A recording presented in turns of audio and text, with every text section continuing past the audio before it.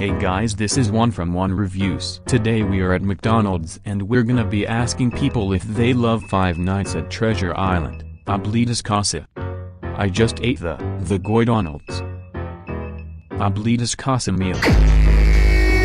Yo, and it's like the coolest because it was made by Andrew Nocturna who worked for FNATI and he loves Juan from Juan reviews. So anyways guys we're gonna go ask them if they love Oblitus Casa.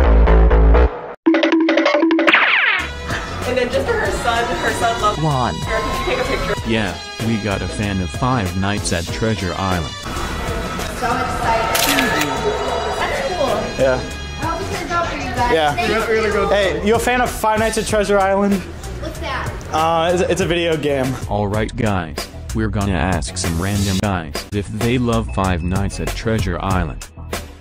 Yo, yo, do you guys like Five Nights at Treasure Island?